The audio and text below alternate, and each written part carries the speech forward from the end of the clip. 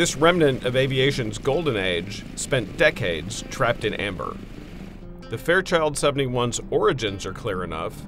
Fairchild built the airplane in 1929. It first flew a few months before the stock market crash put a lid on the roaring 20s.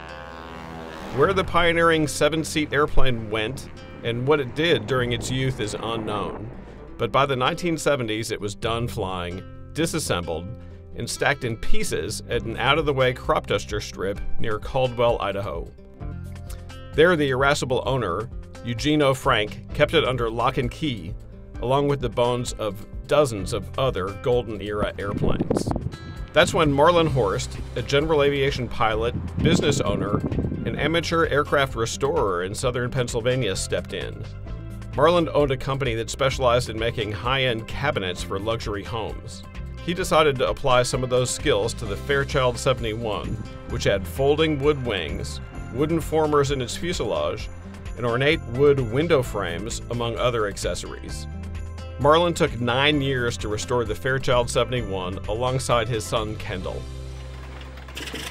They installed a freshly overhauled 450 horsepower Pratt & Whitney R985 engine because the original Snapcat models were unobtainable and less reliable.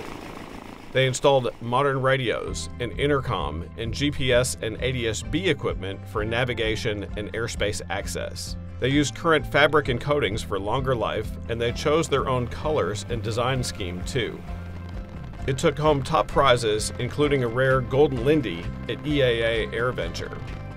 The rescued airplane is a beautiful relic of the golden age of aviation, and their restoration gave Marlin and Kendall the opportunity to work closely together to revive an exceptional historical airplane.